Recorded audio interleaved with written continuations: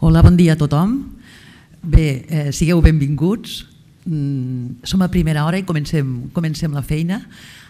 Jo avui he tingut el privilegi, com a membre del Seminari de Gramàtica, de presentar-vos l'Anna Camps, si és que l'Anna Camps necessita alguna presentació en el món de la llengua, que em penso que no perquè tots la coneixen moltíssim i des de fa molts anys. I nosaltres hem tingut la sort de comptar amb ella com a persona que ha dirigit el seminari en què hem treballat sobre com treballar la gramàtica a l'aula. Ella és, eh, entre altres coses, entre molts altres aspectes de la llengua, una experta d'aquest tema i, i de fet ja fa molts anys que hi treballa també en la, eh, en la composició escrita de textos bé, i en diferents nivells educatius. De fet, eh, resumir la seva trajectòria és molt difícil, podríem dir que té una magnífica trajectòria com a docent, com a investigadora, eh, després també amb tot el que ha publicat. De fet, com a docent penso que ha tastat eh, potser tots els nivells, no? des de la primària, la secundària, a universitat, de tot. Eh, també estudiants de doctorat. Ella de fet és catedràtica emèrita de la Universitat de Barcelona. Eh, després ve, com a investigadora, doncs, projectes d'investigació a l'entorn de la llengua, de l'ús de la llengua escrita i ara últimament un projecte molt interessant sobre la reflexió metalingüística, ho dic bé, en, en l'ensenyament de la gramàtica. Eh? I és en aquest punt en què hi hem connectat molt per tirar endavant aquest seminari, perquè ella ens ha posat al davant maneres de veure i de treballar diferents que potser nosaltres doncs, no ens n'havíem adonat o no havíem tingut la capacitat de veure. I després com a autora també té diverses publicacions, eh, llibres diferents, eh, bases per a l'ensenyament de la gramàtica, de graó, ensenya a llegir, ensenya a comprendre, mm, bé, l'aula com a espai d'investigació i molts altres que molts de vosaltres segurament ja haureu llegit. També he participat en, en redacció de diferents articles i bé, mm, el currículum seria llarguíssim, jo el que vull fer és donar-li les gràcies que sigui avui aquí i que puguem tenir el plaer d'haver comptat amb la seva experiència per treballar i ara doncs, que tinguem aquesta magnífica oportunitat d'escoltar-la. Anna, quan vulguis. Gràcies, Laura. Jo t'agraeixo la presentació i agraeixo molt al Consorci que m'hagi permès compartir aquesta jornada i, i part del seminari perquè de fet he col·laborat amb el seminari, no he dirigit, són elles mateixes que han treballat eh, molt amb coses molt interessants i jo he participat un parell de, de dies per comentar coses i per... Se sent, no se sent? Uh, ara se sent? Sí? Millor?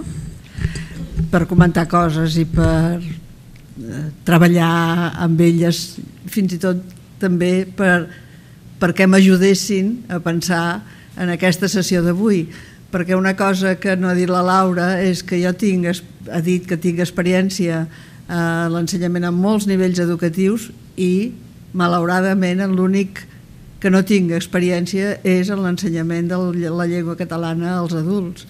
Per tant, jo el que voldré i el que us demano és comprensió de la meva visió que és des de l'ensenyament de la llengua, l'ensenyament, no sóc especialista en lingüística, diguem, sóc especialista en ensenyament de la llengua, l'ensenyament de la llengua en els nivells bàsics de l'educació obligatoris i també a la secundària postobligatòria, però són fonamentalment, bueno, també a la universitat, és clar, la formació de mestres, són fonamentalment en aquests nivells en què he anat elaborant idees eh, que ja us exposaré, algunes de les, de les quals ja us exposaré, per veure si també són eh, diguem, útils per a la vostra feina que és diferent de la que jo he fet. He pensat que abans d'entrar en, de pensar en maneres diferents d'ensenyar gramàtica hauríem de pensar eh, què entenem per gramàtica perquè en parlem així genèricament i segurament si reflexionem una mica veurem que tenim coses una mica diferents entre mans quan parlem de gramàtica. La primera, i aquests són dues definicions tretes del term cat, són dues definicions bàsiques, s'entén per gramàtica el conjunt d'estructures morfosintàctiques d'una determinada llengua. Diem la gramàtica del català, la gramàtica del, del castellà, la gramàtica del francès, de l'anglès. Això vol dir que una llengua té una estructuració, una estructuració a, nivell, a nivells diferents i d'aquesta estructuració de la llengua que compartim tots els que parlem aquella llengua i que ajustem la nostra comunicació a aquestes formes organitzades d'una determinada manera, això és la gramàtica d'una llengua. Encara que no sapiguem, encara que siguem anal, fóssim analfabets, nosaltres coneixeríem la gramàtica de la llengua que parlem en aquest sentit, que és una mica el sentit chomskià de la gramàtica, no? de la competència lingüística, lingüística, pragmàtica, la competència comunicativa. I també en diem gramàtica a la descripció completa dels principis d'organització d'una llengua, des de tots els punts de vista, des del fonològic fins al lèxic, això és el que diu el termcat, però també el pragmàtic, eh, el discursiu, són eh, també, eh, també en diem gramàtica d'això, i això a vegades es recull en manuals, en llibres, que en diem, mira, un llibre de gramàtica. Eh? Això és una altra idea de gramàtica. Aquest coneixement organitzat i formalitzat és una altra idea de gramàtica que en un nivell alfabetitzat necessitem per entendre aquesta gramàtica de la llengua que tots compartim. Eh? Per tant, quan nosaltres estem ensenyant una llengua jo suposo que més que res a persones adultes, el que estem ensenyant, de fet, són dues coses diferents. Una en relació estretíssima amb l'altra, la segona en relació estretíssima a la primera. Volem que aprenguin aquest conjunt d'estructures morfosintàctiques pròpies de la llengua catalana en el nostre cas, però utilitzem els coneixements elaborats socioculturalment sobre la llengua per ajudar a millorar aquest coneixement de la llengua. Els nens petits aprenen la gramàtica en el primer sentit sense coneixements eh, conscients i específics, però en general els adults quan aprenen una segona llengua s'ajuden dels coneixements que tenen sobre la llengua i que han adquirit moltes vegades en l'escolarització en la seva pròpia llengua. Però, en tot cas, si no ho tenen, és un ajut importantíssim perquè ajuda a la reflexió. Bé, a mi em sembla que és important um, tenir aquestes dues idees de gramàtica al cap per reflexionar sobre el que fem a les aules. Quan parlem del conjunt d'estructures morfosintàctiques d'una determinada llengua, hem, hem de recollir aquestes idees bàsiques que no m'hi entretindré perquè això seria molt llarg parlar cada un d'aquests punts, però és evident que té el seu origen en la interacció verbal humana, és, diguem, esdevé la gramàtica interna de cada parlant, està sotmès a la variació, i això és molt important, perquè les qüestions de variació moltes vegades queden al marge de les gramàtiques normatives que ensenyem, però la variació és inherent a qualsevol llengua. Eh? Però, esclar, la variació té eh, moltes manifestacions diferents, des de les dia variacions dialectals fins a les socials, però també les d'entorns eh, més reduïts, etc i és clar, en una situació de llengües en situació relativament precària com pot ser la del català, la variació pot ser un problema diguem, sobre el qual caldrà cal reflexionar per veure què s'accepta, què no s'accepta, quina és la pressió d'una gramàtica normativa, etc.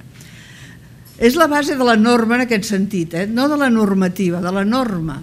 Tots elaborem normes comunes de gramàtica que són les que compartim. Eh? Jo recordo, em sembla que ho vaig explicar un dia, eh, que un xicot que havia anat a, l'escola catalana, família catalana parlant, deia, se m'ha caigut. I, i, I la mare li deia, escolta, no es diu se m'ha caigut. Els joves ho diem així. És a dir, havia, ell sabia molt bé que no es deia des d'aquest punt de vista normatiu, però ell ho deia perquè era la norma elaborada pels joves deia, és sensible a les situacions de, de precarietat, se la denomina molt sovint gramàtica implícita. Què passa amb la gramàtica, diguem, eh, la descripció de la llengua codificada, elaborada i, i, i diguem, recollida en obres escrites? Primer, es basa en uns models que tenen base científica, amb uns conceptes gramaticals elaborats des d'aquest punt de vista, i eh, qualsevol model és una construcció social i cultural. Els nostres models tenen un origen molt antic, encara que després hi hagi hagut reelaboracions i models diferents científics, molts dels conceptes que fem servir eh, venen de, de les gramàtiques del grec passades per després les, les gramàtiques llatines. No, no continuaré això, és molt interessant la història de, de la gramàtica, però no tenim temps. Se la denomina gramàtica implícita i el que és interessant d'observar aquí és que actua com a, com a força compensadora de la, de la variació, de la diversitat, de la, de, de la, de, de la pèrdua a vegades d'una llengua enfront d'una altra, esclar, aquestes gramàtiques escrites van, a, a, diguem, constitueixen com punts fixos eh, que també han d'anar canviant, per això l'Institut va elaborant gramàtiques i diccionaris per anar ajustant la llengua normativa a aquests canvis, són un contrapès, diguem, aquesta variació constant que és la pròpia de les llengües, és el que és realment propi de les llengües. Aquests dos conceptes de gramàtica estan relacionats, de, per tant, amb dos objectius de l'ensenyament de la gramàtica, que és, un és que els alumnes aprenguin a usar les estructures de la llengua i que aprenguin a explicar el funcionament de la llengua a partir d'un model elaborat, una gramàtica pedagògica, si volem, quan parlem de l'escola, o una gramàtica del català d'ús eh, per, per a la ciutadania, com la que està elaborant l'Institut i que sortirà ben aviat. Són, diguem, eh, objectius lligats a l'ensenyament de la gramàtica. Però hi ha una cosa que els lliga, i de la qual parlarem, que és això que en diem activitat metalingüística, és a dir, l'activitat del parlant que pren com a objecte d'observació la llengua eh? la llengua i també els conceptes de la llengua. I jo plantejo, i això ara ho presento així ràpid perquè al final ho reprendrem, que en l'ensenyament, lligats a aquests dos objectius, podem seguir dues vies que s'han d'interrelacionar. Una via, que jo en dic l'espai de l'ús, és a dir, hem de crear situacions perquè s'utilitzi la llengua i perquè s'utilitzin també les estructures específiques d'aquella llengua, i un espai de sistematització en què els conceptes, les idees, eh, que, s'entengui bé que és un pronom, que és diferent d'un article, posem per cas, etc. Tot aquest espai de sistematització ha de tenir eh, també un pes ordenat en el currículum perquè si no són conceptes que no s'acaben d'integrar en un model que tingui una lògica interna. Però hi ha un espai intermig, eh, amb anades i vingudes d'un lloc a l'altre, que és aquest espai que està dintre de l'elipsi aquesta, que és, que és eh, on aquests dos espais conflueixen. L'ús ens serveix per eh, observar, per elaborar corpus, per, eh, ens, ens ofereix ocasions de revisar textos, de detectar problemes, de resoldre'ls. Podem fer un ús focalitzat en, en uns determinats qüestions gramaticals que volem que automatitzin o que aprenguin a utilitzar, però aquest ús ha de ser un ús reflexiu, etc.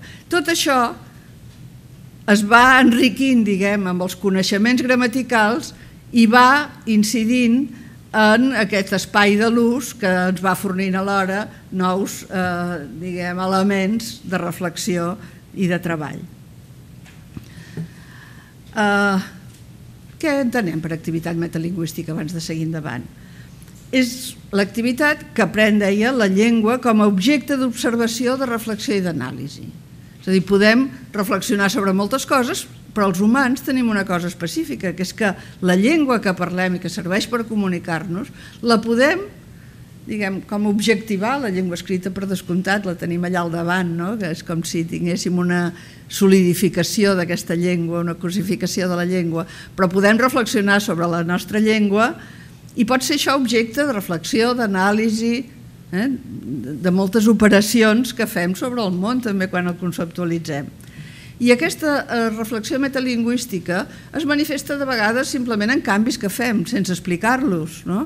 Eh, eh, quan observes o enregistres a nens que escriuen, eh, per exemple, que escriuen en col·laboració, veus que fan propostes de canvi sense raonar-los, sense explicar no, això no, perquè l'antecedent és singular i això s'ha de posar en singular. No, no, no, diuen això, això no, l'altre proposa un canvi, però això vol dir que allà dintre, és un canvi de, simplement procedimental, fan una cosa, però allà dintre hi ha un coneixement que li, que li ha permès decidir aquest canvi o a vegades està acompanyada de verbalitzacions no, això no, perquè no parla potser no diuen el subjecte, però diuen això no això ha de ser plural perquè no parla del noi, sinó dels nois no sé, etc. Eh? Bé, jo ara posava alguns exemples de eh, exercicis per aprendre a usar les estructures de la llengua són exemples molt senzills trets justament dels nivells d'ensenyament primari. Per tant, no, no feu cas de, dels exemples en si, sinó de la idea que hi ha al darrere de cada un dels exemples. Eh? Uh, per exemple, exercicis de comprensió sintàctica. Uh, uh, si, si la tendència és a fixar-se en el lèxic, per exemple, per per distingir el significat d'una frase d'una altra, si el mateix lèxic apareix en frases diferents, eh, s'han de fixar en com estan estructurades les frases. Eh? Llavors, elegir quines tenen un significat, jo dic semblant, perquè el mateix significat, qualsevol canvi en la forma comporta un canvi de significat, jo dic significat semblant, perquè, és clar l'idèntic significat no hi és mai, perquè qualsevol canvi vol dir que estem fent una cosa diferent eh, i elegim unes formes organitzades d'una manera determinada. Aquest és un exemple. Com que ho tindreu, això em sembla en el penjat eh, en el, en el, en el wiki, doncs ja no m'hi entretinc a llegir-les perquè això ens portaria molt temps. La memorització d'estructures sintàctiques, per descomptat, és un procediment que va molt bé. Cançons, poesies, frases fetes que aporten construccions sintàctiques pròpies de la llengua van molt bé perquè són coses que ens queden a la memòria i que apareixen d'una manera automàtica molt sovint quan, quan eh, doncs, parlem. Uh, per exemple, en el cas del subjuntiu, en el cas d'aquest ús especial del, del futur, eh, que no seria eh, quan sortirà, no quan surt, podem dir quan surti, però també en català podem dir quan sortirà, doncs són exemples d'usos específics que si es memoritzen en fórmules d'aquestes doncs va, ajuden a, a l'ús de la llengua oral. Inserció i coordinació de frases per descomptat, no? Aquest és un exercici tret d'un llibre d'Alexandre Galí de l'any 34, les lliçons de llenguatge, que jo el poso com a exemple perquè a més això ara està de moda en el món anglosaxó, això de, de deien, en diuen sentence combining, no? combinació d'oracions per fer-ne d'altres més complexes. Ell posa aquest exemple i els va demanant als alumnes que ho resolguin amb una frase, amb dues o amb tres, amb les mínimes que puguin, inserint unes frases a dintre les altres. Això pot quedar aquí o després ho podem utilitzar per veure quins canvis formals hem hagut de fer per fer aquesta inserció i llavors ja saltem a l'altre nivell, en el de reflexió conscient, quins relatius hem hagut de posar, quines supressions i pronominalitzacions, etc etc. És a dir, que cap exercici és tancat en un, en un eh, nivell i un procediment, el pots fer servir per coses diverses, però també simplement per escriure i per fer una observació una mica... Eh, ai, ara no em surt la fletxeta, aquí. Uh, bé, operacions lògiques, causals, consecutives, allò, inserir frases, uh, esclar, de dir quina és la causa, quina és la conseqüència, com ho podem dir, primer la causa davant, després. No hi, no hi continuo perquè és, això prendria molt temps. El segon uh, concepte de gramàtica era el que lligàvem a la aprendre a explicitar el funcionament de la llengua a partir del model sistemàtic elaborat per a tal fi. En el primer cas, hi ha activitat metalingüística. Què hem fet? Com ho fem?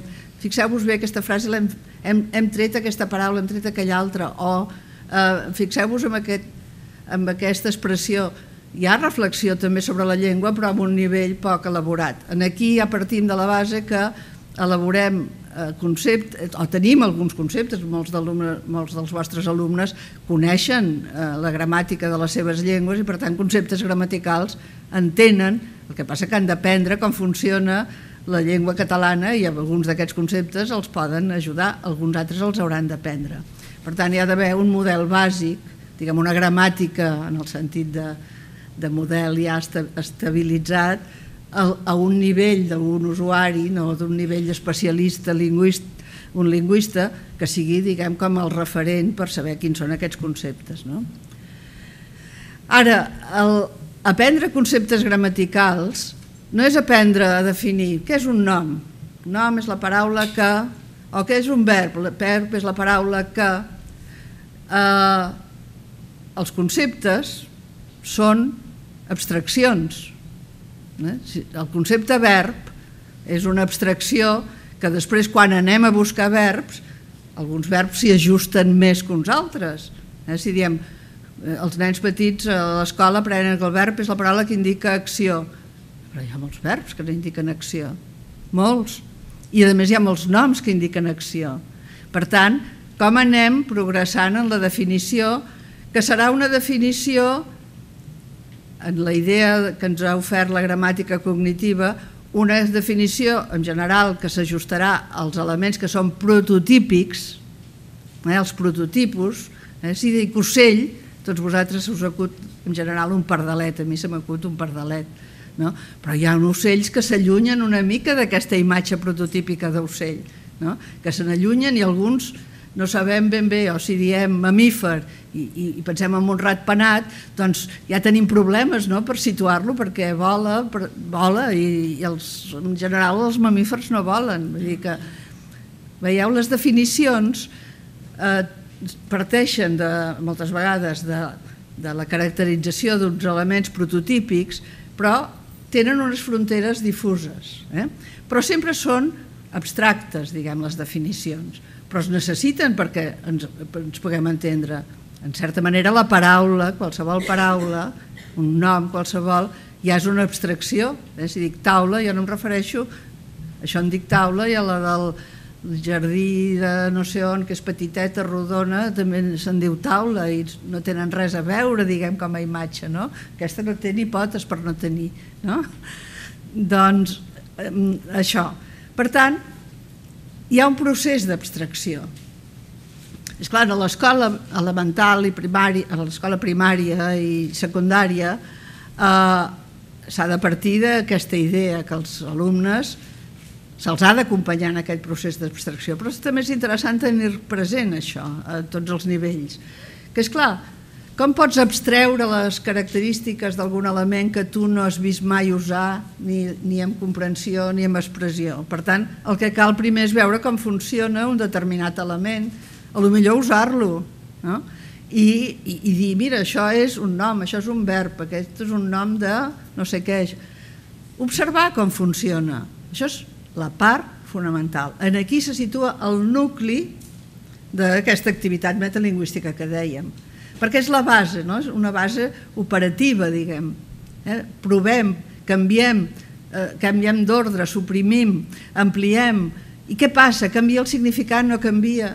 Eh? L'observació per arribar després a identificar uns elements enfront d'uns altres i a generalitzar a través d'una definició i, per tant, poder-se integrar en un sistema. Ai. Per exemple, del verb parlàvem. Jo tenia aquests dos, aquestes dues frases, no? Una, la, la primera és del Ruïra, deia Ara arreu les ones corrien, volaven, saltironaven, tintinejaven amb moviments d'una alegre embriaguesa. Observar què passa aquí, eh? que és aquesta acumulació de verbs donen la idea aquest, de moviment alegre. Això és interessant de veure i estem mirant aquests verbs des del punt de vista de l'ús, de, a la llengua. No? I què heu, com ha aconseguit aquesta idea de moviment i d'alegria? Amb, amb això, amb aquesta acumulació de verbs. Si aquí en comptes de d'acumular aquests verbs d'una manera tan així, un al costat de l'altre, diguéssim, les ones corrien eh, veloçment a través de la llarga platja que se'l tironaven en arribar, ja no tindríem aquesta sensació de rapidesa. Eh? És a dir, observar aquestes coses, com funcionen els verbs. Evidentment, aquests són verbs de moviment. Podríem fer una altra cosa, que és convertir-los en nom, nominalitzar-los. I la nominalització no dona idea de moviment. La, la, els noms donen més aviat, això ho explica Halliday molt bé, idea de cosa estable. Eh? Aquestes observacions, per, per adquirir la idea de verb, està, van molt bé perquè, és clar, els verbs serveixen per alguna cosa i donen unes idees determinades en els lectors, no? en els usuaris de la llengua. Per tant, ara podem fer un segon pas, diguem, en aquell procés d'usar, de designar, d'observar, assenyalar els verbs, dir d'altres verbs de moviment, d'acció, fer petits textos imitant aquests models, no? Què passa? Va, donem idea ara de velocitat, de eh? I, i quins verbs podem utilitzar, etc. Ara,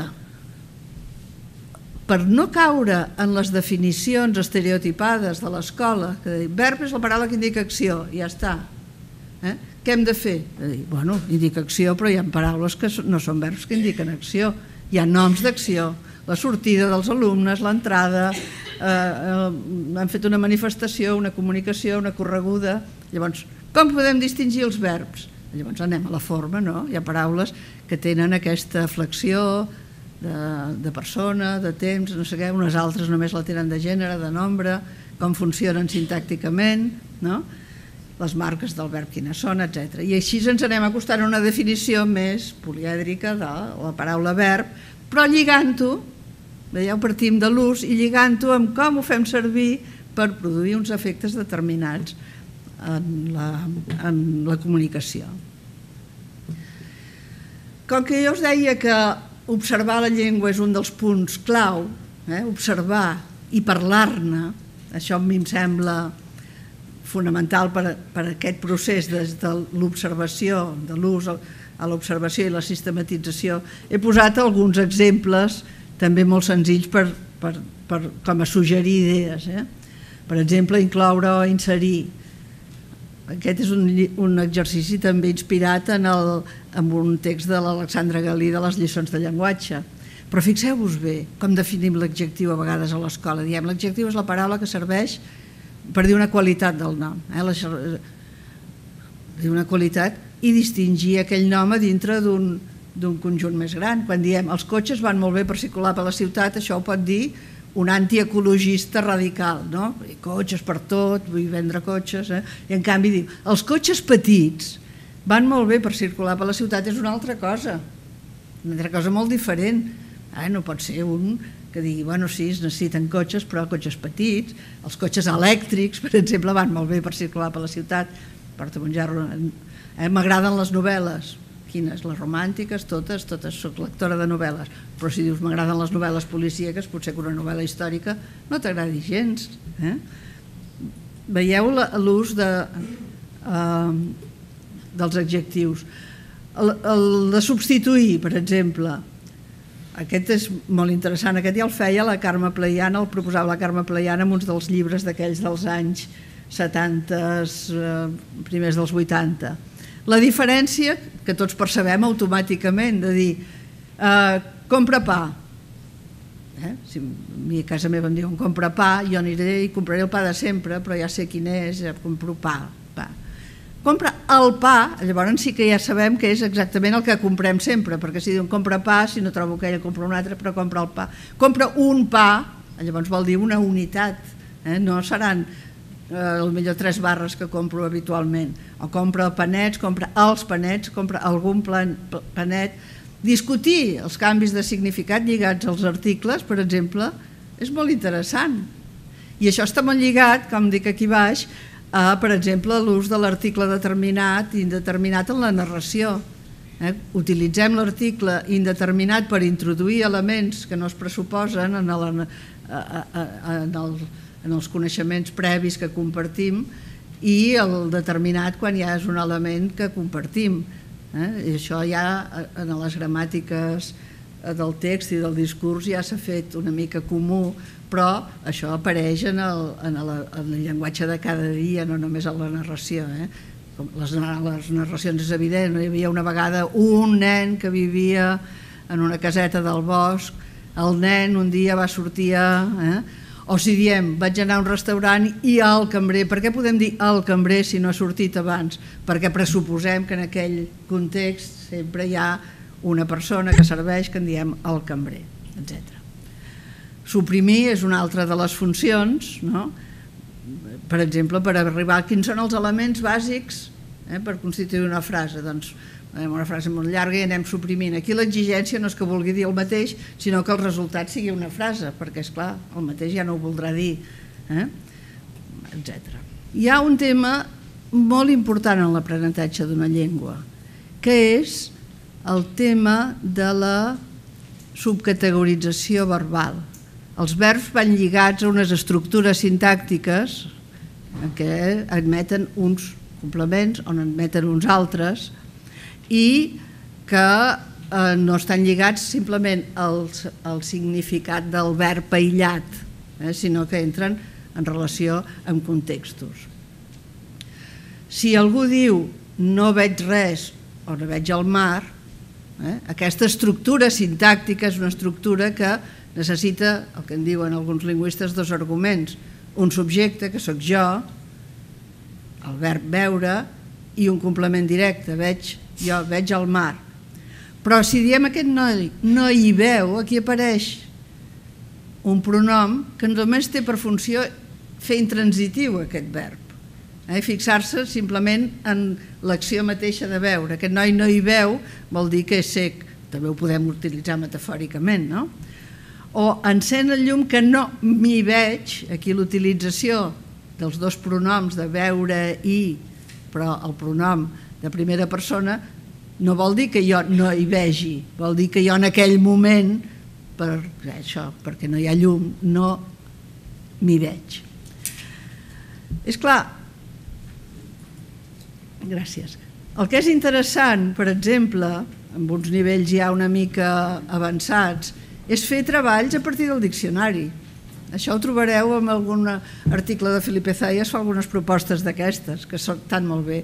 Agafes l'entrada veu, veure, perdó, i, i interpretes. Clar, hi ha una quantitat d'informació gramatical molt gran aquí. Eh? Interpretar-la, aquí tenim, per exemple, al començament, percebre la imatge d'un objecte. Eh? No, jo veig eh, tal cosa, veig el mar. O bé eh, tenir sentit de la vista. Els, els orbs eh, no hi, hi veuen, és el segon que dèiem, el tercer és l'altre que dèiem de veure sí. Eh? Però després hi ha munts de construccions en què el verb veure, més o menys relacionat amb un o l'altre dels significats, apareixen. Fer una petita recerca als alumnes i després fer una presentació d'aquests verbs, eh, d'aquests verbs que poden ser molts, hi ha molts verbs que, bueno, de fet, gairebé tots els verbs tenen aquesta... Eh, a veure, perdó, que torno aquí. Eh, per exemple, amb els verbs veure, eh, veure és aquest, caure, anar, venir... Tots aquests verbs entren en construccions sintàctiques molt diferents, que són molt pròpies de cada llengua, aquestes construccions, i molt diferents d'una llengua a l'altra. Eh? Però si no, si reflexio... amb una reflexió activa dels alumnes, jo crec que és un camí bo per l'aprenentatge. Aquesta és la meva opinió i la, i la meva experiència, no, no d'una recerca sistemàtica, però sí d'experiència. És clar, per exemple, el de la substitució d'una forma per una altra. Eh? Aquest és tret de, de la tesi de la Carme Duran, eh, que ha fet un treball de gramàtica magnífic, i posa, proposava als alumnes aquestes parelles de frases en què un estava en indicatiu i l'altre en subjuntiu en castellà, en català no és subjuntiu la segona, però és igual, pot ser per qualsevol altra forma verbal. Busco un noi que sap italià, busco un noi que sàpiga italià.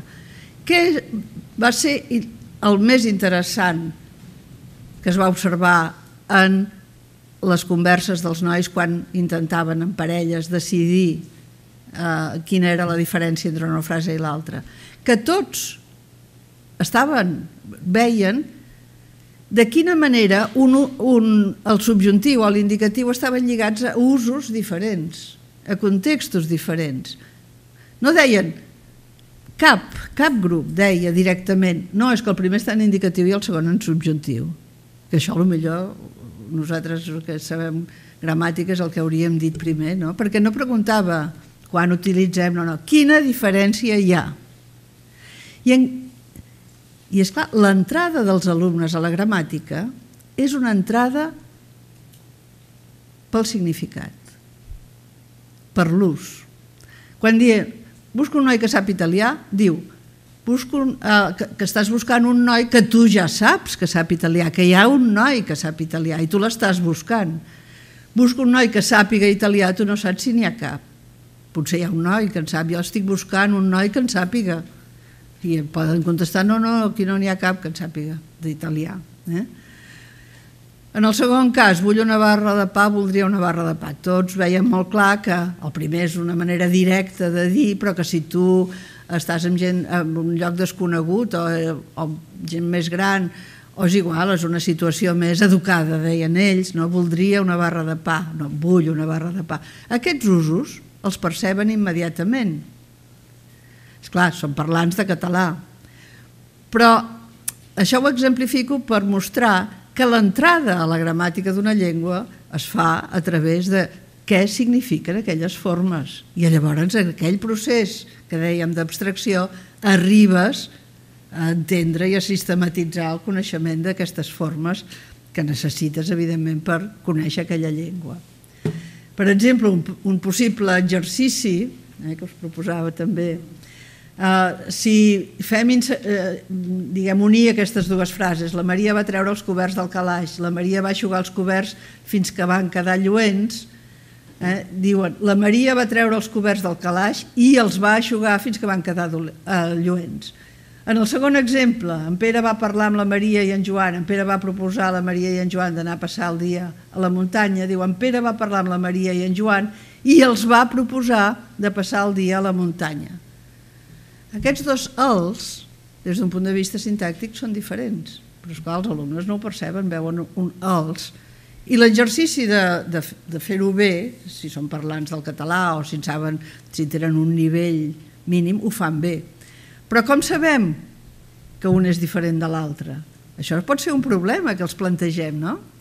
La resolució de problemes, de petits problemes gramaticals, és un camí també molt interessant per fer reflexionar sobre la llengua. Perquè si nosaltres ho posem en singular, veiem que en el primer cas el pronom és el i en el segon cas el pronom és li. Per tant, el primer els té una funció, complement directe, i el segon té una altra funció que és complement indirecte. Clar, aquestes reflexions han d'anar molt lligades, per exemple, al, a la reflexió sobre què passa amb el LIS, no? amb el LIS que s'està imposant. Doncs normativament això no pot ser així, es diu, potser s'acabarà imposant, vés a saber, eh, per allò que dèiem de la variació, però de moment ells han de prendre la normativa també que la normativa, com deien en el, dèiem en el seminari, és un ús, un ús que cal aprendre de la llengua i que socialment és el que es valora en les interaccions formals de la llengua. No? Bé, eh, és aquest el que em faltava i que m'havia saltat. I ara sí que entrem aquí per tancar aquell, aquell esquema i integrar-hi ara algunes idees que ens han anat sortint eh, dels dos espais i d'aquest espai intermig que és aquest ús, aquest ús que jo volia exemplificar amb alguns d'aquests exercicis, exemples d'exercicis o suggeriment d'activitats possibles. És clar, els, els espais d'ús el que proporcionen són exemples, corpus, eh, fets a través de les dificultats dels alumnes o d'ells de, mateixos que busquen en els llibres, en els textos, en la seva parla, en la parla dels altres, a la, eh, diguem, eh, estructures, formes que eh, després poden eh, elaborar, tractar, comparar, etc., eh, problemes, i això dona lloc en aquest espai no, d'observació, de, de revisió, de resolució, de com resoldre aquell problema. Eh, en el en la bibliografia que, que vaig donar, que em sembla que també deu estar penjada, hi ha un article fet pel Xavier Fontic i per mi mateixa sobre el pronomi en què els alumnes fan un, un petit treball d'investigació, eh? d'investigació sobre l'ús sobre del pronomi. El Xavier, que és un mestre magnífic de secundària de, va, va començar a parlar amb els alumnes i de dir, a veure, vosaltres què creieu? Es fa servir gaire el pronom i? Ah, no sé. Què podríem fer per saber-ho? I els, els alumnes deien, esclar, no, el que no podem és anar amb algú i preguntar-li, escolti, eh, vostè utilitza el pronom i? perquè uns en diran, què? Els altres et diran, sí, i potser no el fan servir, els altres et diran, no, i potser el fan servir. O sigui, la consciència sobre... Doncs com ho podríem fer? I van arribar a la conclusió que havien d'elaborar com una mena de petita enquesta a base d'unes preguntes o de la demanda de traducció, etc. i van els alumnes, és clar, un treball de recerca no se'n pot dir perquè era entre els seus propers que, o veïns o altres alumnes del centre que van anar a, a, a fer aquelles preguntes i van recollir aquest corpus per veure què passava, si els que feien servir, els que no, els quins usos del pronomi apareixien, quins no apareixien, etc. I un alumne va dir, ara entenc això del pronomi, finalment. Quan un alumne et diu això, Eh? És, és, ah, vol dir que he encertat un camí interessant no? per fer reflexionar sobre la gramàtica que abans era el pronomi, ah, s'ha de fer servir, fixa't, vaig aquí, hi vaig, eh? etc. Per tant, proporcionen l'ús, però esclar, l'ús pot ser un ús, que deia jo, focalitzat, però ha de ser també un ús reflexiu i aquests, eh, eh, són la, aquests usos focalitzats, reflexius eh, a partir de la revisió, etc., són a la base per a la construcció de l'ensenyament sistemàtic a través d'aquell procés que ja us deia d'abstracció. Eh? Es parteix d'aquest ús, d'aquest ús reflexiu, es reflexiona, es torna aquí per, per eh, comparar, per elaborar, per, eh, per observar, eh? i això, evidentment, eh, d'aquests aquests conceptes que aquí s'elaboren serveixen per tenir més eines per fer aquestes operacions d'aquí i, finalment, segurament, l'aspiració hi passa, sovint, s'integren en aquest espai d'ús més espontani de la llengua. Eh? Per tant, són eines per a la reflexió, aquestes eines que s'elaboren en aquest espai de la sistematització, i constitueixen models a través d'aquesta reflexió d'aquesta reflexió eh, enfocada a, a problemes en concret o a temes gramaticals en concret, constitueixen models eh, que s'integraran a l'ús. Aquest circuit a mi em sembla que és el que s'ha de tenir en compte. Què passava amb uns models purament comunicatius, eh, que rebutjaven la gramàtica? Que no tenien en compte la importància de sistematitzar el coneixement gramatical Finalment hi havia a vegades observacions gramaticals, però quedaven una, una, o, o en alguns casos ni això. Eh? Els alumnes a vegades les, les induïen no? de la pràctica, arribaven a generalitzacions pròpies, però el, la idea era posar el focus en aquest espai d'ús. Eh? I és, és, clar, és, és bàsic. Si no utilitzem la, les formes d'aquella llengua, no, no podem tenir un coneixement purament teòric d'aquelles formes. Les hem de veure en funcionament. És, és imprescindible. I amb un funcionament que ens permeti una reflexió a partir de no de la forma en si, no de si concorda o no concorda només, no si, de si eh, eh, això és el temps present, passat o futur o, o pretèrit perfecte, sinó per què aquestes diferències de temps? Què signifiquen de diferent aquestes, aquestes formes diferents del verb? Per què les fem servir? Eh? I aleshores ho sistematitzem. Ho sistematitzem, sabem que hi ha aquestes determinades formes, tenim, quan, quan els alumnes venen d'altres llengües, tenim un, un àmbit molt ric, per exemple, per dir com es resol això en aquesta llengua?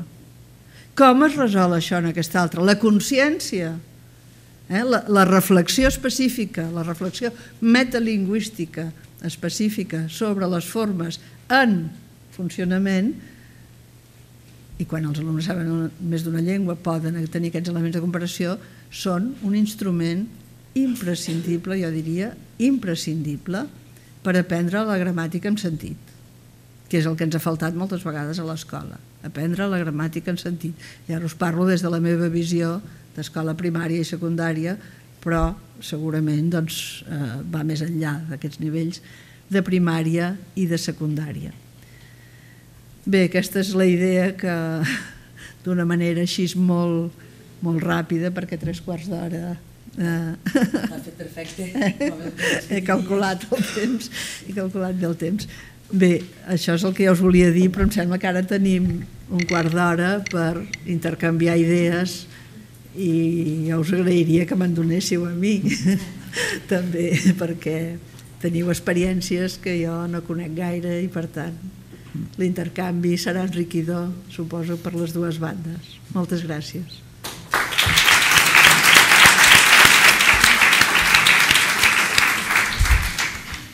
Bé, doncs si voleu preguntar o el que sigui comentar, jo mentrestant ah, volia fer una pregunta abans de començar mentre la gent es va pensant si vol preguntar alguna cosa, Anna, és totes aquestes activitats gramaticals que fem habitualment, que de vegades fem més, que fem menys, d'un ús sistemàtic d'alguns elements de la llengua, és a dir, una mica com a repetició d'estructures, de formes, de formes verbals, de fins a quin punt són útils, si ho són, en quin moment s'han d'incorporar en aquest procés per aprendre si és que s'han d'incorporar i, i de quina manera es poden fer més útils si és que no ho són prou. A veure, els exercicis de repetició d'estructures que eren molt, molt habituals, per exemple, en les aplicacions a l'ensenyament de, la, de la gramàtica estructural, eh? Uh, jo crec que tenen utilitat, eh? jo crec que tenen utilitat, però el que no tenen utilitat és si els fas simplement aïllats. Eh? S'han d'integrar en un treball més global sobre aquella forma determinada que després automatitzes. És clar, l'automatització és imprescindible.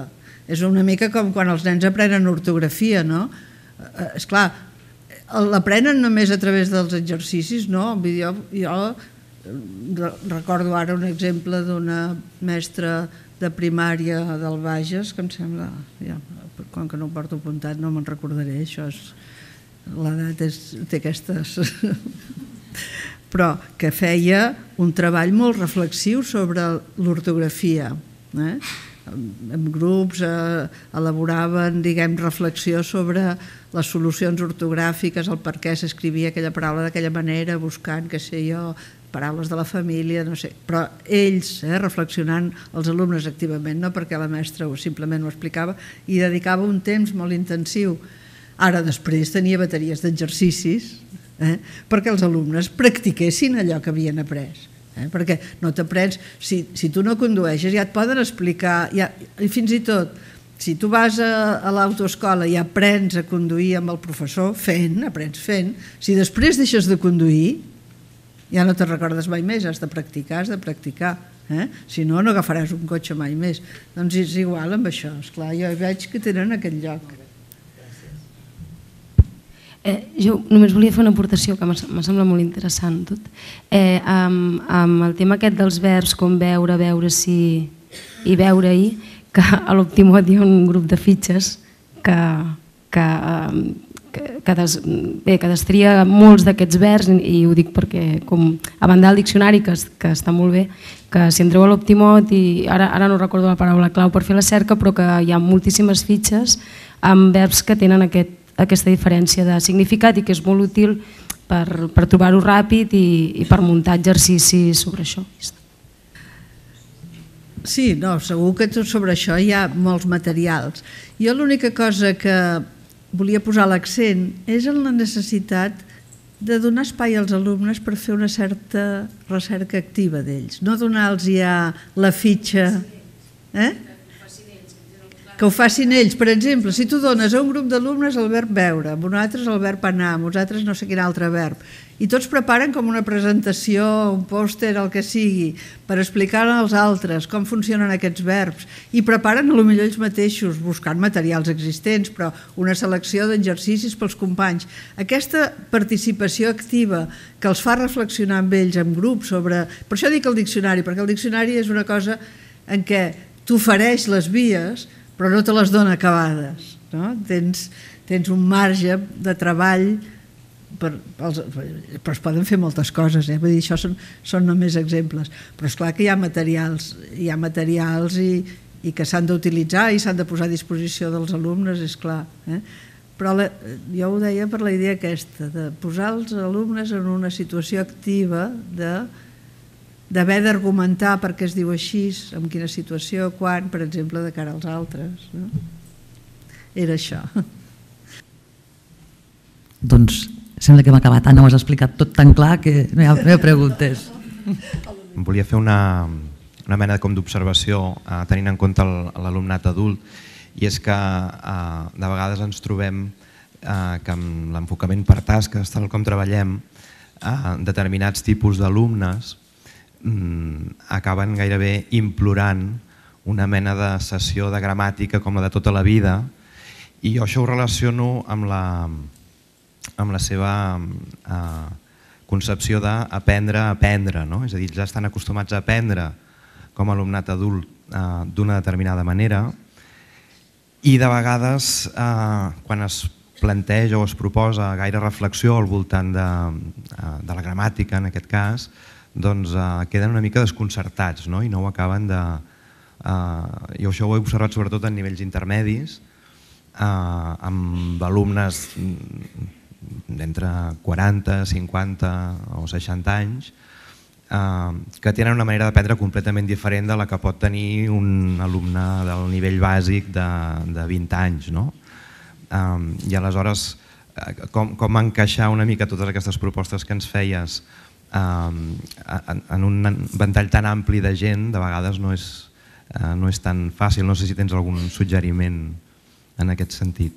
És clar, jo he posat l'accent en, aquella, en l'aspecte reflexiu que a mi em sembla la base però jo crec que classes diguem de gramàtica, de dir, veure sintetitzem això com s'utilitza els pronoms febles o mireu, aquí teniu un quadre amb tots els pronoms febles i exemples tot això jo, jo ho faria entens?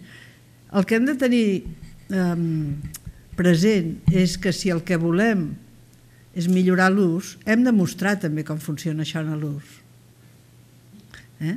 Però jo recordo, bueno, aquesta és la vostra experiència i l'entenc perfectament. Eh? A, mi, a mi a vegades, que he anat a classes d'alguna llengua estrangera, m'ha posat nerviosa segons quines aproximacions comunicatives, aquestes tan desesperadament comunicatives. Perquè, escolti'm, digui'm, expliqui'm, expliqui'm a veure com funciona això, no? Vull dir que tens tota la raó, però és que jo, fixeu-vos que jo estic dient que hi ha dos espais. Eh? Hi ha dos espais, hi ha un espai de la sistematització. És a dir, que això que... El que passa que en aquests alumnes els estem ensenyant dues coses. Els estem ensenyant a fer servir la llengua i els estem ensenyant a com està estructurada aquesta llengua. No? I aquests dos espais s'han de comunicar. I en l'ensenyament tradicional estaven incomunicats. Però jo estic d'acord, eh, que cal de tant en tant. Vull dir, eh, no sé, si estàs tractant un tema dels pronoms febles, has fet activitats de substitució, de no sé què, de, de recerca sobre els pronoms en i que sempre són molt problemàtics, d'observació, de raonament, llavors eh, sintetitzem, això es fa servir per aquí, i tenen allà el resum, diguem, de la, de la normativa gramatical en aquesta llengua, jo estic d'acord. Jo recordo, clar, jo no tinc aquesta experiència, eh? però recordo haver llegit un article d'una que explicaven una, una experiència d'ensenyament a través de tasques també comunicatives amb una alumna xinesa, era com una mena d'estudi d'un cas d'una alumna xinesa, que ho trobava un desastre horrorós, que això, vull dir que no li ensenyaven res, perquè només tot era... no sabia que estava aprenent, i això no pot ser. Eh? Això, a veure, quan jo dic la reflexió, no estic dient que ha de ser una cosa eh, intuïtiva, no, no, no, dic reflexió, sabent que estem aprenent, sabent quin és l'objectiu d'aprenentatge. Per mi això és fonamental. I l'objectiu d'aprenentatge gramatical, eh? no eh, la tasca de descobrir eh, la vida dels dofins a, a no sé on, i que així ja aprendran estructures gramaticals. No, no, així no se n'aprenen. Eh? Ni a cap, a cap edat. Per això hi ha dues, dos espais aquí. Eh? I això és molt important i t'agraeixo molt que m'hagis fet aquesta pregunta perquè a vegades ens confonem. Eh? Quan jo dic aprenentatge reflexiu, dic aprenentatge reflexiu d'uns continguts determinats eh, amb uns objectius determinats. Del que acabes de dir, sí que hem de recordar que nosaltres aprenem la llengua de completament d'una manera natural, intuïtiva, sense sistematitzar. I que a vegades també tot aquest ensenyament tan gramatical o tradicional, en alguns de alumnes eh, també els pot obstaculitzar i frenar. També? Que els pot obstaculitzar i frenar. Mm. És a dir, aprendre's en normes, hi ha gent que, el, que és antinorma. És que el que és interessant de l'ensenyament és que no hi ha una fórmula única, m'entens?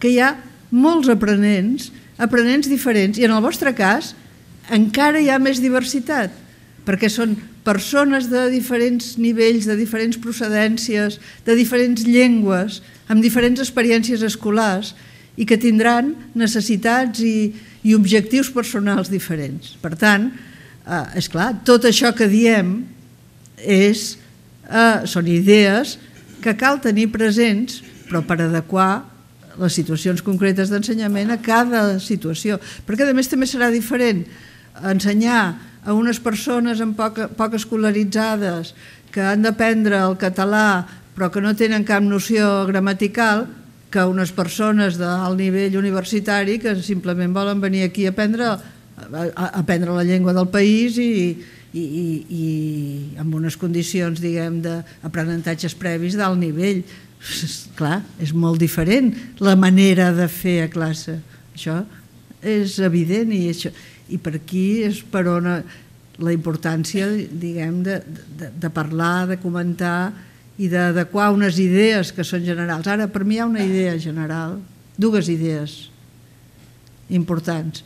Primer, que són dos objectius diferents interrelacionats, l'ús i, i el coneixement sistemàtic, eh? són dos objectius interrelacionats i que el que els interrelaciona, el que els pot interrelacionar és la capacitat de reflexionar sobre aquests usos i sobre el sistema.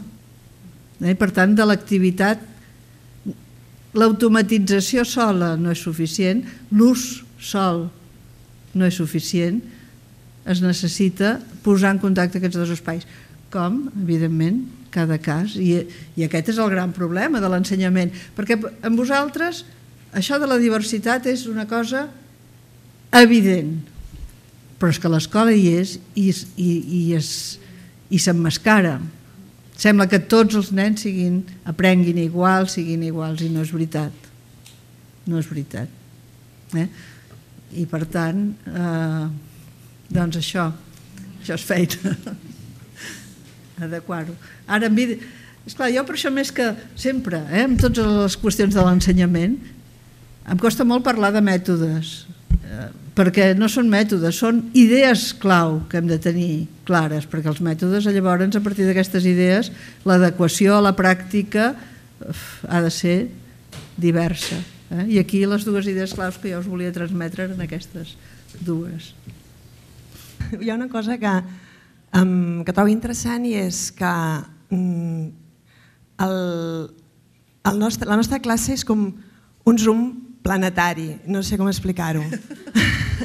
Ho has explicat. I imagina que tens la bola del món, no només, no només geogràfica, eh, sinó transversal en tots aspectes de l'aula i l'alumne és, pot ser de la zona rural de Nigèria, pot ser d'una ciutat plenament mm, urbana de, de la Sibèria, pot ser doncs, una persona de Karachi, per tant, que parli anglès, l'anglès de, del Pakistan i que sigui de família mm, comerciant de generacions d'aquella zona. Eh? I allà. Llavors, què, què, què ensenyem? Perquè és realment què venen a buscar tots junts a la mateixa aula, el català, evidentment, però eh, què ensenyes a aquestes persones que no saben català al mateix nivell i tot això és tan divers i ara és el curs que jo diguem-ne em trobo immersa per necessitat de, de la meva, del meu centre i de la meva delegació i del, dels alumnes que tenim. Ostres, és que jo trobo molt interessant, estic cada 10 anys és com si les meves cèl·lules de professora mutessin i, i ara sóc aquí amb el, amb el nivell inicial, bàsicament, i és a dir, si faig el zoom, tinc el planeta, i si enxiqueixo el zoom, haig d'ensenyar català. I llavors, el, el, és, és, és, jo ara mateix estic com per tirar tots els papers des del terrat, del carrer, i tornar a començar i dic, ostres, és l'alumne, si li ensenyes una cosa concreta, és concreta per tothom, el verb anar, el verb ser, el verb eh, dir-se, però llavors aquell alumne és tot això, és, ja m'estic enrotllant, perdona, i no t'estic preguntant res. Què ensenyaries tu? Què ensenyaries tu a la meva aula? Ja ho sento, eh? però és una pregunta que no puc contestar. El que et puc dir, el que et puc dir que és apassionant això que expliques, no? aquesta experiència eh, deu ser interessantíssima. Uh, no ho sé, jo ja t'ho deies que vosaltres sabeu uh, molt més que jo la complexitat de les vostres situacions. Jo no crec que en la situació aquesta, encara que tu redueixis, diguem, eh, l'àmbit del que vols ensenyar. Vull ensenyar això, el verb anar, no? el verb eh, veure. Molt bé, però tu els estàs ensenyant formes de eh, d'usar aquest verb en situacions, no? I això pots... Eh, no sé si aquestes idees poden servir per això. És clar, aquí hi ha... Eh, no contestaré a la teva pregunta. Com ensenyaria jo en aquestes aules? Doncs t'asseguro que no és fàcil aprendre a ensenyar en situacions diferents i ja us admiro moltíssim. Jo una, sobre una de les coses que, que en l'escola primària i secundària he volgut, he insistit moltes vegades, és sobre la idea de simplificació. És evident que hem de limitar els objectius i els continguts a uns nivells eh, adequats en els alumnes, però fixeu-vos bé que, per exemple, eh, per posar un exemple caricaturesc, les definicions gramaticals que pretenen ser simplificacions perquè els nens les puguin aprendre, en lloc de facilitar l'accés al concepte, el que fan és convertir allò en una cosa incomprensible, que no té cap funció ni per aprendre la gramàtica eh, ni per aprendre la llengua, diguem l'ús de la llengua, ni per aprendre la gramàtica de la llengua. Eh? Per tant, simplificar sí, però en aquests contextos, no? Eh, com es fa servir en català això, ara jo, perdona, i, i només el que vull expressar és una certa, eh, diria, admiració barrejada d'enveja, perquè conèixer tots aquests mons tan diferents a través dels alumnes deu ser apassionant. eh? Però bueno, seria un tema a tractar en un seminari, per exemple, aquest. Eh? Hola, em dic Teresa. Volia mm, comentar que m'ha semblat molt interessant la proposta aquesta d'observar el corpus per fer reflexió però en els nivells intermedis i de suficiència a vegades això ens representa un problema perquè parlant dels pronoms febles et diuen és que jo així no ho dic, és que això jo no ho he dit mai. I, i parlava de la variació, aleshores quin protagonisme ha de tenir la variació i quin valor se li ha de donar a l'aula? Perquè si el que expliques és com funcionen els pronoms febles en, en la norma, eh, no pots mm, entretenir-te a explicar com funcionen en llengua oral, perquè els catalanoparlants potser sí que acaben tenint una idea clara del que l'estàs proposant, però els que venen d'altres llengües diuen ja m'he perdut del tot. Aleshores, quin, quina presència ha de tenir aquesta variació i sobretot quin valor li hem de donar? És clar, això, els pronoms febles és el, el, un dels problemes importantíssims eh, que té l'ensenyament de, la llengua catalana, perquè els usos que en fem els parlants del català, els usos pròpiament catalans que en fem els parlants de català, sense diguem, interferències d'altres llengües, no coincideixen amb els usos normatius. I aquest pels aprenents és un problema gravíssim. Jo crec que en algun nivell de... els alumnes haurien d'aprendre aquests usos diguem, no normatius. Clar, hem de tenir una idea de que totes les llengües eh, tenen usos diferents. No? I nosaltres, és clar, vosaltres teniu alumnes que el que volen és aprendre, en general, a parlar el català. I per tant hem de permetre'ls constatar que els que parlen català en aquell entorn fan un ús específic, no? Vull dir, jo penso que sí que s'ha d'ensenyar això. Ara, dir, a veure, què passa en la llengua escrita? Hi ha un treball de, del Xavier Gutiérrez, eh, un, en la bibliografia el teniu, sobre els pronoms relatius, que us vaig comentar en el grup, en què presenta als alumnes un corpus oral, un, corpus estret de la llengua oral a través de transcripcions, un corpus escrit en modalitats diferents orals i escrites, eh, més col·loquial, més formal, i els alumnes descobreixen, o, o, o pretén fer descobrir als alumnes, quin és l'ús que es fa en una modalitat o en l'altra, en la llengua literària escrita o en la llengua oral col·loquial, posem per cas. Eh? I constatar això és necessari, és necessari perquè perquè tampoc volem que els alumnes, a vegades passa que els alumnes aprenents parlen un català que nosaltres no, no reconeixem com el nostre català perquè posen formes norm, hipernormatives amb unes expressions col·loquials, eh, que, que haurien de ser col·loquials. Aquest és un problema realment. Ara jo sí que, que primer prendre consciència d'aquesta diferència ho han de fer. Ho han de fer, és imprescindible. I després, eh? tu deies alguna cosa. Ah, que ho han de fer. Eh? Clar, no, sí. Ara també han de prendre la normativa si volen utilitzar el català en entorns formals, no? Aquest és el... Però no, com els pots evitar? Eh? Jo me'n recordo que vaig conèixer a un professor de català d'una universitat anglesa i el que em va sorprendre és que parlava català com nosaltres, eh? deia ha sigut, els hi donaré, eh? totes aquestes formes que no són normatives però que, que, que són normals, diguem-ho així. No? Doncs, esclar, si poguéssim aconseguir això, eh, que parlessin aquesta llengua catalana, no, no, encara que no sigui normativa, i que aprenguessin alhora que hi ha unes formes normatives escrites, seria el màxim èxit que podríem tenir. Com a mínim saber que existeix aquest problema, ho hem de saber, esclar. A veure, continuant amb el tema dels pronoms, eh, i pel que fa a la llengua normativa, a la llengua oral, quan nosaltres gastem molts anys de la nostra vida i molts calés a aprendre anglès, ningú no ens diu que ens ensenyen l'anglès del carrer. I ara que posaves l'exemple d'Anglaterra, quan anem a Anglaterra ens adonem que allò que nosaltres hem après no és ben bé allò que ells diuen i el nostre objectiu final és acabar aprenent allò que ells diuen, almenys quan anem pel carrer o som en un pub.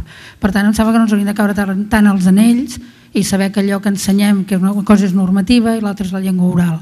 Però ara, venint a, a compte d'això que dèiem al final, però primer, um, quan has posat els exemples de veure-hi, sentir-hi, caure-hi, que bé, que em sembla molt interessant i és un tema que a mi m'interessa molt personalment, penso que, per exemple, quan en intermedis i suficiències, quan començo amb els pronoms i sempre preguntes, sabeu què és un pronom i tots et diuen, repeteixen com un mantra que un pronom serveix per substituir un element de la frase. I jo els dic, sí, això és cert, però només és parcialment cert. I em trobo que sovint el fet de fer servir el pronom com un element enfàtic de repetició de l'element que justament no substituïm sinó que repetim, um, el sorprèn molt. I a vegades penso fins a quin punt quan expliquem pronoms només expliquem aquesta part mecànica que és la fàcil d'altra banda perquè és estudiable. En canvi la part eh, que reflecteix la llengua oral que és quan els pronoms són realment productius moltes vegades ens l'estalviem.